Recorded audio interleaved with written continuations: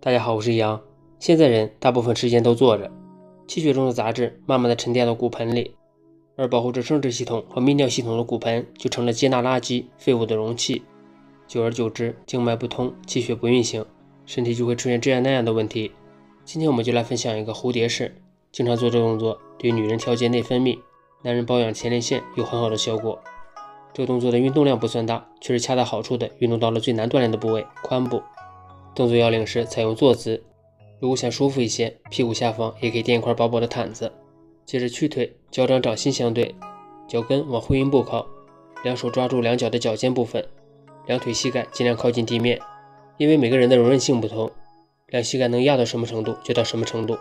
背部尽量挺直，两腿有节奏的上下震动，就像是蝴蝶扇动翅膀一样。前列腺炎是男性的常见问题，大概有百分之五十的男性朋友都有过这个问题。而司机比一般人更容易出现。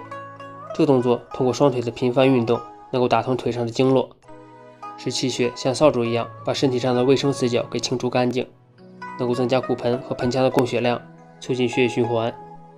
刚练习这个动作，髋部会很紧，而蝴蝶式是一个打开髋部的体式。在紧绷的状态下，容易造成大腿内部的肌肉拉伤，所以一开始不要幅度过大，可以慢慢来，注意双脚不要离开地面，脊柱挺直。胸腔打开，感受髋部的肌肉运动。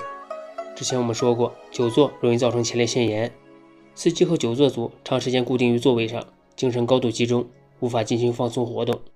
这种固定姿势除了引起颈、腰部肌肉酸痛以外，也会长时间压迫尿路，影响尿路的血液循环。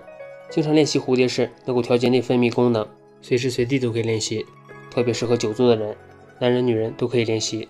女人调节内分泌，男人保养前列腺。数量可以由自身的情况决定。好了，这期的视频就分享到这儿。有喜欢我视频的朋友可以关注我，我是易阳，咱们下期见。